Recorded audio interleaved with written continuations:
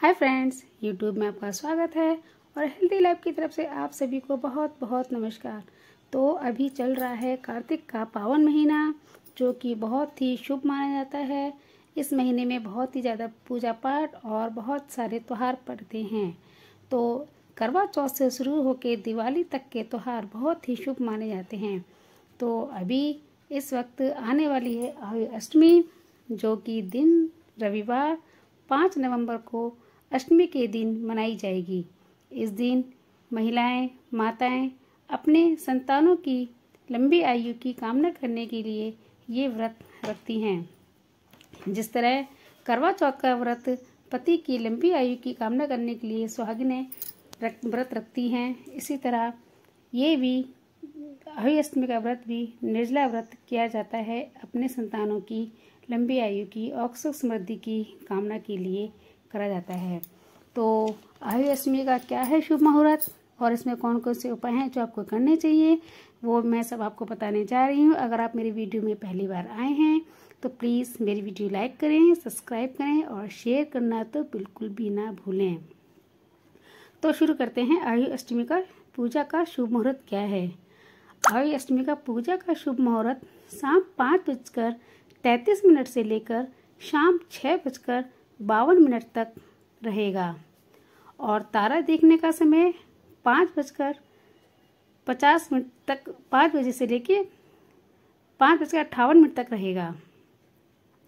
तो ये आयु अष्टमी के दिन जो कुछ उपाय हैं, जो माता बहनों को करने चाहिए और क्या करना चाहिए, क्या नहीं करना चाहिए, ये सब मैं आपको बता रही हूँ।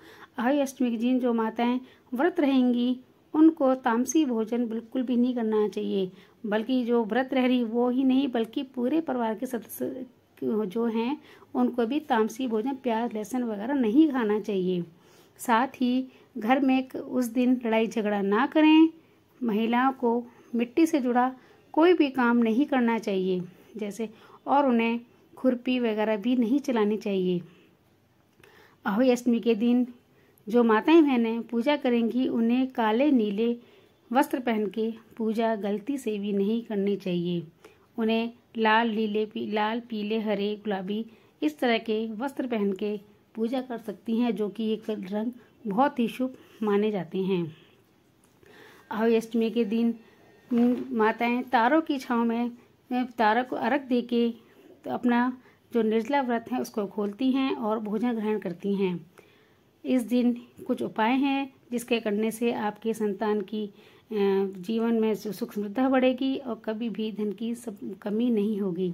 तो ये उपाय हैं। नंबर एक पर यह है कि अष्टमी के दिन पीपल के पेड़ के नीचे सरसों के तेल का दीप जलाने से आपकी संतान की, मैं, जी, संतान के जीवन में सुख समृद्धि बनी रहेगी, कभी धन की कमी नहीं होगी।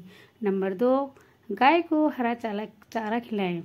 ऐसा करने से जो माताएँ बहनें आयु अष्टमी के दिन गाय को चारा खिलाती हैं तो ऐसा करने से जिन माताएँ के संतान नहीं हैं, उन्हें संतान प्राप्ति का फल प्राप्त होता है। तो आई अष्टमी के दिन निसंतान महिलाएँ उस दिन गाय को चारा अवश्य खिलाएँ।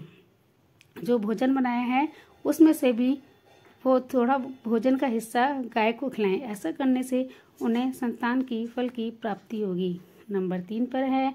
उस दिन तुलसी का पौधा घर में अवश्य लगाएँ, क्योंकि ये बहुत ही शुभ माना जाता है। तुलसी के पौधे का कार्तिक मास के महीने में तो बहुत ही शुभ माना जाता है। ऐसा करने से घर में सुख संपत्ति बढ़ती है और आपके संतान के जीवन में कभी भी कष्ट नहीं आता और सुख समृद्धि बनी रहती है। नंबर पाँच पर है कि उस दिन सफ़ेद फूल आप अष्टमी मैया को, अष्टमी जो माता हैं उनको अहोई अहोई माता हैं, उनको आप सफ़ेद फूल अवश्य चढ़ाएँ। ऐसा करने से आपके संतान के जीवन में खुशियाँ भर जाएँगी और सुख समृद्धा बनी रहेगी।